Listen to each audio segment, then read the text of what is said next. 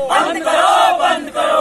यादव के परिजनों को न्याय देना होगा। देना होगा देना होगा। यादव के परिजनों को न्याय देना होगा। देना होगा देना होगा। माफिया थाना प्रभारी गठजोड़ मुर्दाबाद। मुर्दाबाद शराब माफिया थाना प्रभारी गठजोड़ मुर्दाबाद। मुर्दाबाद मुर्दाबाद। इंकलाब जिंदाबाद। जिंदाबाद जिंदाबाद।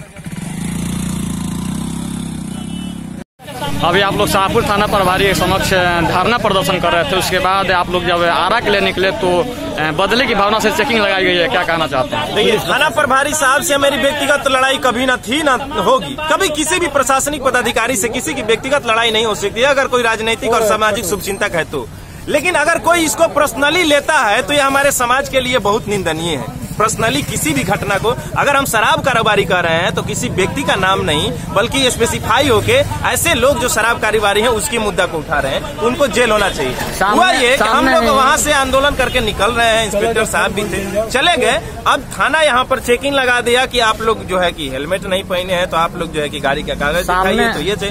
बाकी किसी और गाड़ी का चेकिंग नहीं हो रहा था लेकिन हम लोग- गाड़ी का लगातार सामने वीडियो आम लोगों को बिना हेलमेट का जाना दिया जा रहा है लेकिन आप लोगों को बदले की भावना तो से ये रोका गया है। ऐ- ऐसे नहीं थाना प्रभारी कतई ऐसे नहीं हो सकते हैं। न होना चाहिए कभी नहीं होना चाहिए। एक सामाजिक शुभ चिंतक होने के नाते समाज के गार्जियन होने के नाते अगर सामने वाला गलती भी करे कोशिश करना चाहिए एक बार समझाने की भी लेकिन अगर आप बदले की तरह टूट रहे हैं हम नहीं समझते हैं कि ये आपके व्यक्तित्व को उचित करता है या आपके नेतृत्व को उचित करता है। विशाल कुमार प्रदेश अध्यक्ष जन